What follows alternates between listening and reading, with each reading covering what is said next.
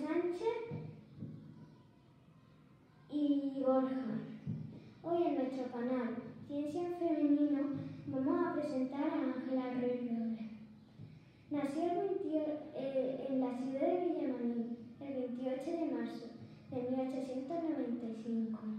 Su interés por la ciencia surgió preocupada por la cantidad de peso que los niños llevaban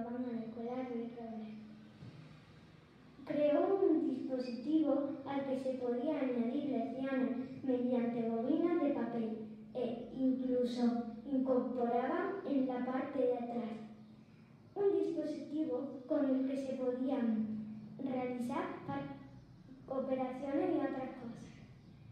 Estudió y realizó sus estudios superiores en la Escuela de Magisterio de León, donde impartió sus primeras clases de taquigrafía y contabilidad mercantil.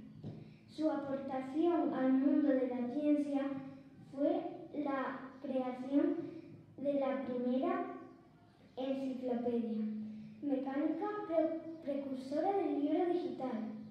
Fue una maestra pionera en la enseñanza